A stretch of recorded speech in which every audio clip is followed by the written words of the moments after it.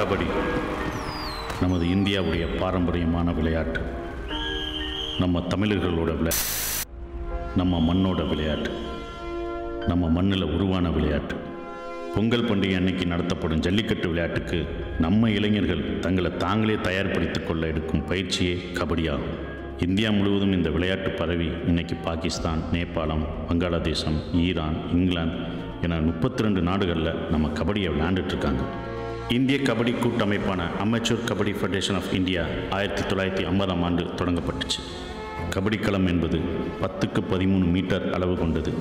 சுமார் ஆயிரத்தி நானூறு சதுர அடி நிலப்பரப்பில் மரத்தூள் தேங்காய் மஞ்சி மணல் பரப்பி பாதுகாப்புடன் விளையாடி வந்த இந்த விளையாட்டு இன்று ப்ரோ கபடி லீக் என்ற தேசிய அளவிலான அங்கீகாரமும் கிடைச்சிருக்கு. பெர்லின் ஒலிம்பிக் ஆசிய ஒலிம்பிக் உலகக்கோப்பை கபடி என நம்ம மண்ணோட இந்த கபடி விளையாட்டு உலகம் முழுவதும் வளர்ந்து நிற்குது.